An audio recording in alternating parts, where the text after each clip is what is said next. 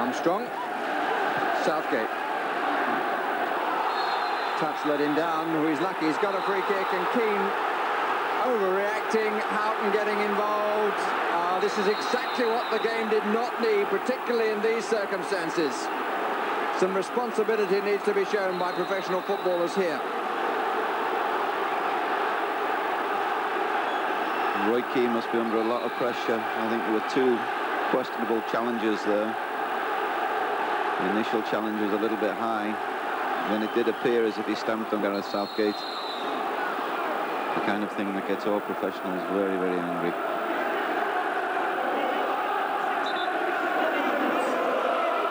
These really are just the sort of scenes that were not required.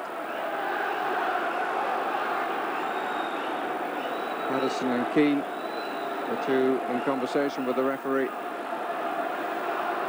And Roy Keane is off.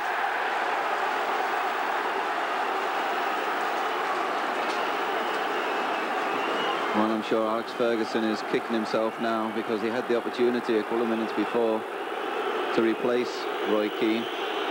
He was carrying an injury.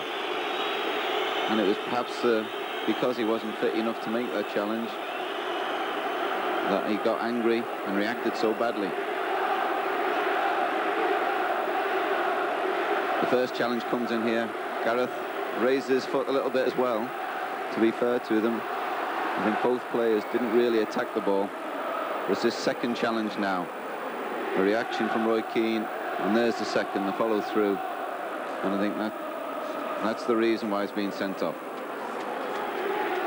Ray Houghton in the follow-up. Salako trying to calm things down, as was Denis Irwin. And Patterson got himself involved, and he too has been dismissed.